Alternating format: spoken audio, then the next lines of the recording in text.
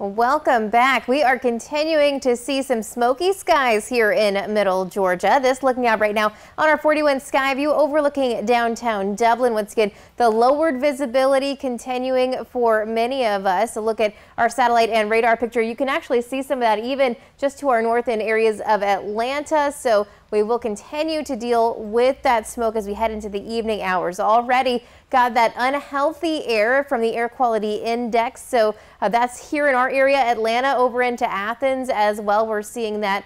Uh, so you just want to be staying inside as much as you can, especially if you are sensitive to these fine particulates. So if you have the headache, if you're having trouble breathing, you need to stay inside as best as you can uh, near somewhere that's got the cleaner air. Now, I will go ahead and say that as we are heading into our next couple of days, this is slowly going to start to filter down further to the south. And we're also expecting to see a little bit of rain to move in that could help to dissipate some of this smoke that we're already seeing out there for today. But the other big story was the heat today. 97 degrees, our high temperature, 94 normal for this time of year. 68 though, where we started out. So the drier air did allow us to cool off into the 60s overnight last night, but now everybody has really warmed up. 99 degrees currently in McRae, so that's our warm spot at the moment. 93 in Dublin, 96 in Forsyth, and seeing 94 here in Macon.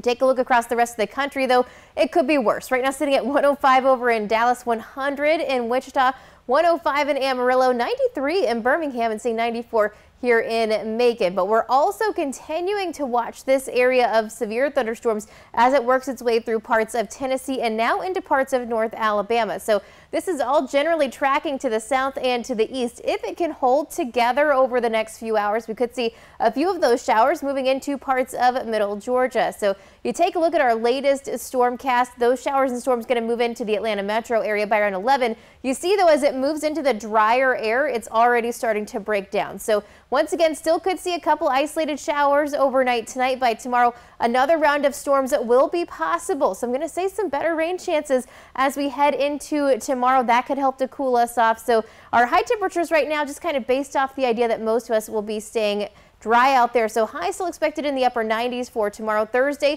Going to see kind of a repeat with another chance for showers to move in along that same general line. We will be seeing our increase in humidity for tomorrow. So once again, that is going to kind of help some of those showers and storms as you're heading into the rest of the week. But it's also going to really up our heat index values. So around 103, even up to 105 possible as we head into the end of the week. But for tonight, once again, mostly cloudy skies will be building up. We're going to keep the haze temperatures at 81 by midnight. We head into tomorrow, some scattered showers and storms possible with highs in the upper 90s.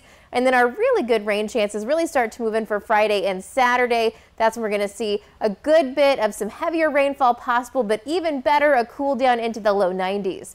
In just 10 seconds, I'll look at our seven day forecast.